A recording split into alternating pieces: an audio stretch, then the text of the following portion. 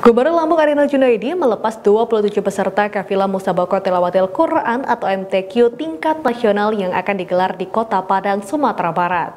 Dalam kesempatan ini Arinal berjanji akan memberikan bonus untuk peserta yang berhasil mendapatkan juara. Sebanyak 27 peserta kafilah asal Lampung ini dilepas oleh Gubernur Lampung Arinal Junaidi untuk mengikuti ajang perlombaan Musabako Tilawatil Quran atau MTQ yang digelar di Kota Padang, Sumatera Barat.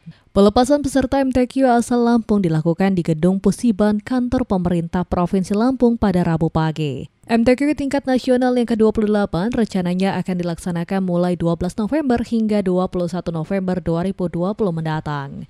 Arinal Junaidi mendukung penuh para peserta MTQ asal Lampung yang akan berlaga di tingkat nasional. Bahkan ia menegaskan akan memberikan bonus bagi peserta MTQ asal Lampung yang meraih juara. Bonus yang akan diberikan yaitu bagi juara satu mendapatkan 25 juta rupiah, juara dua 20 juta rupiah, juara tiga 15 juta rupiah, dan juara harapan 10 juta rupiah. Arinal berharap para peserta MTQ asal Lampung dapat berprestasi dan membanggakan Provinsi Lampung. Oleh karenanya saya tadi berpesan supaya uh, ke Sumatera Barat itu merupakan satu persyaratan di dalam kita mengikuti MPQ dari 34 hanya satu yang tidak ikut kalau tidak salah kan ya NTT tetapi syukur Alhamdulillah Lampung mengikuti semuanya. Dan mudah-mudahan eh, Lampung bisa mendapatkan eh, uh, rezeki karena rezeki maksud saya itu mendapatkan uh, kemenangan dalam kejuaraan.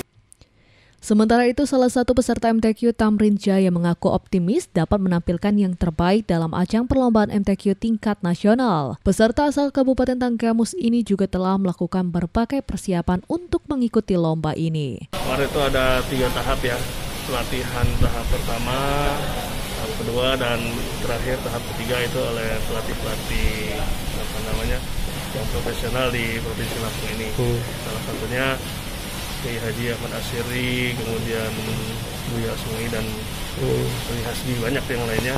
Uh, dan alhamdulillah insya Allah uh, kawan-kawan siap semua dan terakhir proses yang kita lakukan itu adalah swab hmm. dan hasilnya uh, semuanya negatif membuktikan bahwa secara fisik, mental, insya Allah rombongan siap untuk bertanding. Dan mudah-mudahan harapannya uh, dapatkan hasil yang terbaik. MTQ tingkat nasional yang ke-28 digelar di Kota Padang, Sumatera Barat yang nantinya akan menerapkan protokol kesehatan yang ketat untuk mengingat pandemi COVID-19 yang belum berakhir. Dari Kota Padang Lampung, Gali Prihantoro, Metro TV.